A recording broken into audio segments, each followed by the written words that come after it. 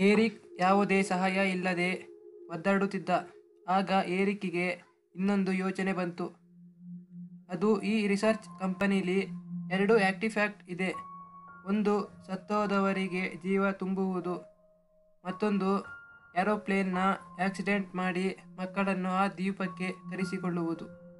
Eric ತನ್ನ ಎರಡನೇ ಅವಕಾಶವನ್ನು ಸರಿಯಾಗಿ ಉಪಯೋಗಿಸಲು ಅಲ್ಲಿಗೆ ಹೋದ. ಆಕಾಶದಲ್ಲಿ ಹಾರುತ್ತಿದ್ದ ವಿಮಾನದಲ್ಲಿ ತಿಮ್ಮಿಯ ವಯಸ್ಸಿಗೆ ಸರಿಹೊಂದುವ ಮೂರು ಮಕ್ಕಳು ಇದ್ದರು. ಆ ಸಮಯದಲ್ಲಿ ಏರಿಕೆಗೆ ಎರಡು ಅವಕಾಶ ಮಾತ್ರ ಇತ್ತು. ಅದು ಆ ಏರೋಪ್ಲೇನನ್ನು ಆಕ್ಸಿಡೆಂಟ್ ಮಾಡಿ ಕೆಂಪು ಮನುಷ್ಯ ತನ್ನ ಮಗಳನ್ನು ಕಾಪಾಡಿಕೊಂಡ ರೀತಿ ಟಿಮ್ಮಿಯನ್ನು ಕಾಪಾಡಿಕೊಳ್ಳುವುದು. ನನ್ನ ಥರ ಇನ್ನೊಂದು ತಂದೆಯು ಕಷ್ಟ ಅನುಭವಿಸಬಾರದೆಂದು ಮಗ ಟಿಮ್ಮಿ ಸತ್ರು ಪರವಾಗಿಲ್ಲ ಎಂದು ಈ ಮಿಷನನ್ನು ಆಫ್ ಮಾಡುವುದು ಏರಿಕ್ ತನ್ನ ಮಗ ಮೇಲಿದ್ದ ಪ್ರೀತಿಯಿಂದ ಆ ವಿಮಾನವನ್ನು ಆಕ್ಸಿಡೆಂಟ್ ಮಾಡಲು ನಿರ್ಧರಿಸಿದ ಆ ಮಿಷನ್ ಕೆಲಸ ಮಾಡಿದ ಮೇಲೆ ಪ್ರೀತಿ ಇರುವ ಎಲ್ಲ ತಂದೆಯು ಇದನ್ನೇ ಮಾಡುತ್ತಾರೆ ಒಂದು ವರ್ಷದ ನಂತರ. Here talk to us about his new book, Rescue, along with his son Timmy. Please give it up for Eric LeBlanc.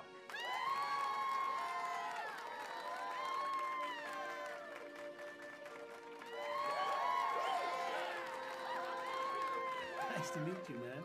That's one hell of a story. So let's jump right into it. Look, you can see it on the cover. I feel like you're really blurring the lines here between fact and fiction. Oh, is that the axe? Hey, do y'all want a demonstration?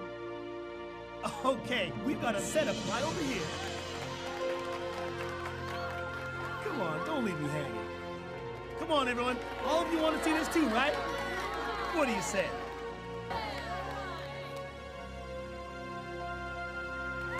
Yes! All right. Grab Timmy and let's head on over. Watch your step now.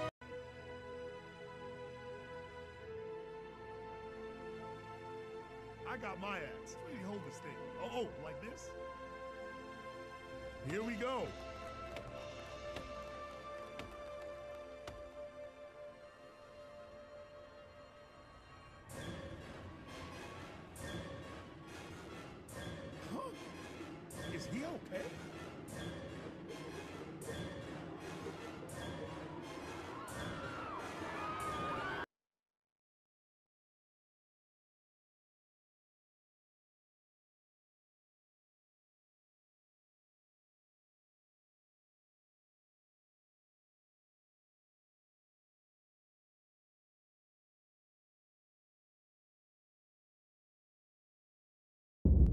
ಕೆಲವು ವರ್ಷಗಳ ನಂತರ ಟಿಮ್ಮಿ ಅಲ್ಲೂ ಉಜ್ಜುತ್ತಾ ಇದ್ದ. ಹೌದು Timmy ಬದುಕಿದ್ದ. Whisky ಕುಡಿಯುವಷ್ಟು ಮಟ್ಟಕ್ಕೆ ಬೆಳೆದಿದ್ದ. ಅವನ ರೂಮ್ನಲ್ಲಿ ಆ ಕಾಡಿನ ಕೆಲವು ಇನ್ಫಾರ್ಮೇಶನ್ ಇತ್ತು. ಒಂದು ಮ್ಯಾಪ್ನಲ್ಲಿ ಸೈಟ್ ಟೂ ಅಂತ ಇತ್ತು. ಸಡನ್ನಾಗಿ ಅವನ ಕೈ ಕಂಟ್ರೋಲನ್ನು ಬಿಟ್ಟಿತು. ತಿಮ್ಮಿ ನಿಜವಾಗಲೂ ಆರೋಗ್ಯವಾಗಿದ್ದಾನಾ? ನನ್ನ ಕಾಪಾಡಿ, ದೊಡ್ಡ ತಪ್ಪು ಮಾಡಿಬಿಟ್ರಿ ಅಪ್ಪ. ತಪ್ಪಾದ ನಿರ್ಧಾರ. ಈ ಗೇಮ್ನಲ್ಲಿ ಎರಡು ಎಂಡಿಂಗ್ ಇದೆ. ಇಷ್ಟೊತ್ತು ನೋಡಿದ್ದು ಗುಡ್ ಎಂಡಿಂಗ್. ಈಗ ನೋಡೋದು ಬ್ಯಾಡ್ ಎಂಡಿಂಗ್. ಏರಿಕ್ ತನ್ನ ಕಷ್ಟ ಯಾರಿಗೂ ಬರಬಾರದೆಂದು ನಿರ್ಧರಿಸಿ ಆ ಮಿಷನ್ನ ಎಮರ್ಜೆನ್ಸಿ ಶಟ್ ಡೌನ್ ಮಾಡಿ ಪೂರ್ತಿಯಾಗಿ ಆಫ್ ಮಾಡಿದ. ಅವನು ಅಲ್ಲಿಂದ ಹೊರಗೆ ಬರುವಾಗ ಏರಿಕ್ ಆಕಾಶ ನೋಡುವಾಗ ಆಕ್ಸಿಡೆಂಟ್ ಮಾಡಲು ಹೊರಟಿದ್ದ ವಿಮಾನ ಹಾರಾಡುತ್ತಿತ್ತು. ಏರಿಕ್ ವಿಮಾನವನ್ನು ನೋಡುತ್ತಾ ತನ್ನ ಮಗ ಟಿಮ್ಮಿಯ ಫೋಟೋವನ್ನು ತೆಗೆದು ಸುಟ್ಟಾಕಿ ಅದೇ ಕಾಡಿನಲ್ಲಿರಲು ನಿರ್ಧರಿಸುತ್ತಾನೆ. ಈ ಗೇಮನ್ನು ಏರಿಕ್ ದೃಷ್ಟಿಯಿಂದ ನೋಡದೆ ಆ ದ್ವೀಪದಲ್ಲಿ ಏನಾಗುತ್ತಿತ್ತು ಎಂದು ನೋಡಿದರೆ ಸಹಾರಾ ಎಂಬ ಕಂಪನಿ ಜೆನೆಟಿಕ್ ಎಕ್ಸ್ಪೆರಿಮೆಂಟ್ ಮಾಡುತ್ತಿದ್ದರು. ಅದು ಇಲ್ಲಿಗಲ್ ಆಗಿ. ಅವರು ಸತ್ತೋದವರಿಗೆ ಜೀವ ಕೊಡಬಹುದು ಮತ್ತು ಪವರ್ಫುಲ್ ಆಗಿರುವ ಎಲೆಕ್ಟ್ರಾನಿಕ್ ಬೀಮ್ ಇತ್ತು. ಈ ಸಂಶೋಧನೆಗಳಿಂದ ತುಂಬ ಸೈಡ್ ಎಫೆಕ್ಟ್ ಬರುತ್ತಿತ್ತು ಸಂಶೋಧನೆಗಾಗಿ ಮಕ್ಕಳನ್ನು ಬಳಸುತ್ತಿದ್ದರು.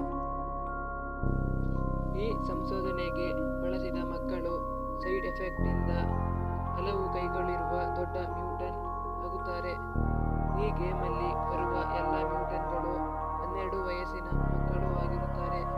ಇನ್ನೊಂದು ಪ್ರಾಜೆಕ್ಟರ್ನಲ್ಲಿ ಇದರ ಬಗ್ಗೆ ವಿವರ ಇತ್ತು ಸಂಶೋಧನೆಗೆ ಬೇಕಾಗಿರುವ ಮಕ್ಕಳನ್ನು ಇವರು ಪವರ್ಫುಲ್ ಆದ ಬೀಮ್ ಯೂಸ್ ಮಾಡಿ ಮಕ್ಕಳಿರುವ ವಿಮಾನವನ್ನು ಕಂಡುಹಿಡಿದು ಆಕ್ಸಿಡೆಂಟ್ ಮಾಡಿ ಅದರಲ್ಲಿರುವ ಮಕ್ಕಳನ್ನು ಕದಿಯುತ್ತಾರೆ. ಏರಿಕ್ ಕೆಂಪು ಬಣ್ಣ ಮೈಮೇಲೆ ಹಾಕಿದ ನಂತರ ಮ್ಯೂಟನ್ಗಳು ಅವರಿಗೆ ಏನೂ ತೊಂದರೆ ಮಾಡುವುದಿಲ್ಲ. ಇದೇ ಕಾರಣಕ್ಕೆ ಟಿಮ್ಮಿಯನ್ನು ಕಿಡ್ನಾಪ್ ಮಾಡಿದವನು. ಇದೇ ಕಾರಣಕ್ಕೆ ಕೆಂಪು ಬಣ್ಣ ಹಾಕಿದ್ದ. ಮೇಗನ್ ಕ್ರಾಸ್ ಅನ್ನು ಕಾಪಾಡಲು ಟಿಮ್ಮಿಯನ್ನು ಬಲಿ ಕೊಟ್ಟು ಮೇಗನ್ ಕ್ರಾಸ್ ಅನ್ನು ಕಾಪಾಡುತ್ತಾನೆ. ಸೈಡ್ ಎಫೆಕ್ಟ್ನಿಂದ ಮೇಗನ್ ಕ್ರಾಸ್ ತನ್ನ ತಂದೆಯನ್ನೇ ಕೊಲೆ ಮಾಡ್ತಾಳೆ. ಏರಿಕ್ ಅಲ್ಲಿಗೆ ಹೋಗುವಾಗ ಮೇಘನ ಅದೇ ರೀತಿ ಮ್ಯೂಟನ್ ಆಗುತ್ತಾಳೆ. ಏರಿಕ್ ಮ್ಯೂಟನನ್ನು ಕೊಂದು ವಿಮಾನ ಆಕ್ಸಿಡೆಂಟ್ ಮಾಡುವ ಮಿಷನ್ ಹತ್ತಿರ ಹೋಗುತ್ತಾನೆ. ಬೇರೊಂದು ವಿಮಾನವನ್ನು ಆಕ್ಸಿಡೆಂಟ್ ಮಾಡಿ ಟಿಮ್ಮಿಯನ್ನು ಕಾಪಾಡುತ್ತಾನೆ. ಆದರೆ ಟಿಮ್ಮಿಯೊಳಗೆಯೂ ಆ ಮ್ಯೂಟೇಷನ್ ಕೆಲಸ ಮಾಡುತ್ತಿತ್ತು. ಟಿಮ್ಮಿ ಯಾವುದೋ ಒಂದು ಕಾರಣಕ್ಕೆ ಆ ಕಾಡಿನ ಬಗ್ಗೆ ಮಾಹಿತಿ ತಿಳಿದುಕೊಳ್ಳುತ್ತಾನೆ. ಟಿಮ್ಮಿ ಅದೇ ರೀತಿಯಾದ ಇನ್ನೊಂದು ದ್ವೀಪವನ್ನು ಬೇಕಾದರೂ ಕಂಡುಹಿಡಿದಿರಬಹುದು.